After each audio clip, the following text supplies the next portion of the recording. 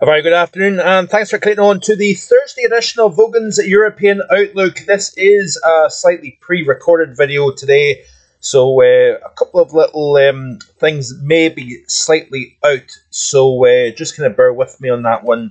But I wanted to start off today's European Outlook by looking at Hurricane Francine made a landfall um, on the Louisiana coast. It appears that it made landfall as a, a 100 mile per hour Category 2 972 millibar hurricane as it moved on shore, which is um, quite surprising, actually, if I'm being honest, given the fact that it was um, essentially uh, very significantly interacting with land. It also was in um, within a, a, very very sheared environment, very strong west to southwesterly uh, flow within the mid and upper levels of the atmosphere. It really was pushing a lot of the convection off to the to the northeast, causing it to, to kind of become lopsided. But then also uh, dry air getting drawn in from Texas. Uh, all had the hallmarks of a weakening system, but uh, it looks as if the system came ashore uh, near Houma um, and Morgan City, Louisiana, as a Cat 2 100 mile per hour hurricane. Thought I would start off by showing you that there is a lot of things going on at the moment here. Where do I start? Let's talk about rainfall and the potential of. Uh, don't want to over overdo this, but a potentially catastrophic rain event um, may be about to unfold across parts of Eastern Europe. We've got obviously Arctic air driving south over the western side of Europe. You can see here in the um, in this upper air 850 anomaly chart here. The very, very cold air getting drawn in on the backside of this low. We've got some very warm air getting wafted northwards here. We've got a very strong area of high pressure over far western um, Asia, far eastern Europe, and that's acting as a wheel here to draw exceptionally warm air northwards. The problem that we have is this Arctic air is going to continue to drive southeastwards over Europe, and we're going to see an area of low pressure develop. Now, these are the current sea surface temperature anomalies over the central Mediterranean. We're still talking between 26 and 28 Celsius water temperatures. These are the water temperatures around Italy, and these are the water temperatures around Greece. Uh, so, very, very uh, significant fuel within the Med Basin. But when you're driving some very, very cold, and usually colder by mid September standards southeastwards, you have the recipe for a system developing. But remember what we've seen back at the end of last week, into the weekend cut off area of low pressure developing over Biscay, bringing some very heavy rainfall across parts of northern Iberia, France, and into the southern UK what essentially we're going to see, it looks like, if we look at the, the GFS mean sea level pressure and anomaly here, this is how the pattern looks to be evolving going forward. So we have this area of high pressure sliding in uh, by the time we reach Friday. Now let's go back, in fact, and see how this unfolds. So there's that 979 millibar area of low pressure that is uh, ha- has drawn down that Arctic air. We've got low heights. Uh, remember, this is mean sea level pressure. But then, as we go into the middle portions of yesterday, this, uh, this is around 18Z, Wednesday, yesterday, we've got a, a feature that develops over northern Italy. It just kind of develops, if you notice here.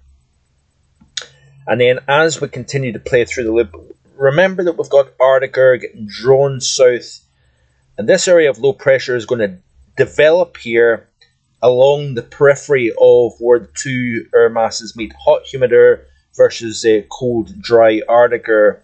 And this feature will develop. But watch what happens as we move through the weekend and then the next week. We've got an area of high pressure that really starts to build over the north of Europe here. And we've got a, a large envelope of low pressure that is trapped beneath this area of strengthening high pressure, both in the upper levels as well as the low levels of the atmosphere. And what may happen is this feature may become locked in place underneath this ridge of high pressure. And if you look at the rainfall totals, keeping in mind the warmth over the Mediterranean that is going to get drawn out of the water into the atmosphere, increasing the moisture levels, but then getting drawn into this developing system. Play through this loop and watch what happens with these rainfall totals. This is total accumulated precipitation of the ECMWF model. And look at this here developing from northern Italy through parts of Serbia, Croatia, Bosnia Herzegovina, up into Czech Republic, Slovakia, in the southern portions of, of uh, Poland. We have got significant amounts of rain expected to fall, and as much as nearly 500 millimeters of rain is seen by the ECMWF between now and Saturday next weekend, the 21st of September, here. And this could be a major problem. Now, keep in mind, I want to just show you this chart here. This is quite interesting to see off uh, my website here. Um, just bear with me a little second here. Is the drought situation. Um, two seconds, I should have had this pulled up and I didn't, um, which is annoying. But uh, let's play through this article here and I'll show you exactly what I'm talking about here. The drought situation. So bear in mind that the, the, the drought over Eastern Europe has been increasing in strength all the way through the summer season. June, July, August, all record uh, warm months and very, very uh, worse than drought situation in this very area. You drop that amount of rainfall over the drought stricken areas and you have a major problem. The ground baked hard, this heavy rainfall essentially just bounces off the surface and then you cause flash flooding as a consequence. The ground cannot absorb the water the same way coming off a summer of drought. So this could be a potentially devastating flood situation unfolding uh, as we move through the weekend and, and early next week across this region of Europe. I wanted to show you what is going on as well. Now, I showed you the upper and uh, in fact, this is the mean sea level pressure anomaly as we uh, go towards the middle and second half of next week. Notice here the trough actually slides back westwards once again, which is quite interesting. I want to show you something here. This pattern here is very, very phase 6 MJO. And if we look at the MJO chart, you can see that that is exactly what we have is uh, amplified phase 6 of the Madden-Julian oscillation. Now, one thing I want to point out to you is this. So this correlates to blocking over the uh, over the UK and Europe here. So phase 6, Madden-Julian oscillation, blocking high pressure over the UK and Europe here. Now, what will be interesting to watch for is if the MJO can rotate into phases 7 and 8, possibly even into 1. You notice here that uh, the block and high becomes more focused over the North Atlantic, Greenland, and in the wintertime, this would certainly produce uh, a cold spell. We have got uh, the North Atlantic Oscillation going deeper into negative territory, but the MJO is also expected to go uh, continue uh, propagating eastwards over the Pacific and into the Atlantic basin, and coinciding with the NAO and the AO, the Arctic Oscillation, going into uh, firmly negative territory. You can see that here very clearly that it's going quite strongly in the negative territory. Looking at the North Atlantic Oscillation. So, what is the Arctic Oscillation? It, essentially, when it's positive, it means we've got strong winds circling the, uh, the, the Arctic the polar vortex. The stronger those winds, the stronger the polar vortex, the stronger the westerly flow will be. Milder conditions dominating Europe and uh, across North America.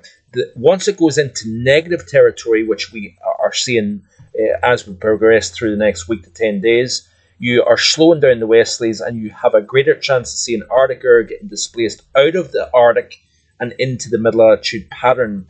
And if the MJO can rotate into phases 7, 8, and 1, then that increases the chance of seeing blocking uh, and a potential cold spell down the road. Now, bear in mind we're still in the early autumn, but if we uh, zoom out and go to the northern hemispheric view, there is reasons to believe that the pattern that we have seen and currently have could return as we move into, uh, say, the latter half of September into the early portions of October. Look at this here of the GFS ensemble. This is mean sea level pressure, and look at how the heights are strengthening to the north and to the northwest of the UK. Um, that is a, a classic negative AO and negative NAO signal. And I want to end this video by showing you this here, folks. This is the 10 millibar temperature profile here over the North Pole. And the blues represent the uh, building of cold over the pole. There's the polar vortex right there, developing, strengthening. But as we move towards the end of the loop here, this is getting into the second half of September. Look at the warmth that's now starting to show up over Siberia, and it's beginning to already put pressure on the polar vortex. This is a highly unusual situation to see this early on in the autumn season. Remember that the polar vortex is only really in its development stage, but already we're seeing a weakening of strat warming pushing the, the vortex off its off its uh, axis and towards um, the, the, you know the northern portions of North America, Greenland, and northern Europe here. Essentially, what this is telling me is that we are going to potentially see a very weak polar vortex through September and through October. That would suggest to me, with the La Nina, West QBO, and other factors, including the Madden-Julian Oscillation, we have a chance of seeing what just took place this week returning maybe once, maybe twice during this autumn. Never mind even the winter, but even during this autumn, we have an opportunity to see this pattern repeat itself. Let's have a look at the upper chart here of the GFS ensemble real quick just to see what it's showing here. This is day 1 through 5. And you can see here positive. The west of the UK extend up into Greenland, North America. Day 6 through 10. You can see here the positive over Northern Europe. There's your phase 6 MJO right there. Strong positive to the north of the UK uh, and Europe and also across uh, Hudson Bay, eastern Canada. We need to watch out for the tropics with this, with the trough diving down the western side of North America, for example. And then the 11 to 15 day, you can see here that the high pressure is starting to kind of build further north and further northwest uh, of the UK and Ireland here. This would suggest to me that there is a potential, very small chance at the moment. This is just a hunch, not a forecast. I'm not hyping things up. But we could see another surge of cold coming down. Given the Arctic Oscillation, North Atlantic Oscillation going firmly in the negative territory, the weakness in the polar vortex, and the rotation through phases 7, 8, and 1 of the MJO, Plenty of reason to stick around here in the channel, so please do so. Hit that like button, share with your friends and family, and subscribe if you have not already done so. Lots of exciting times to come, and I hope you can join me and stick around for the latest. Bye for now.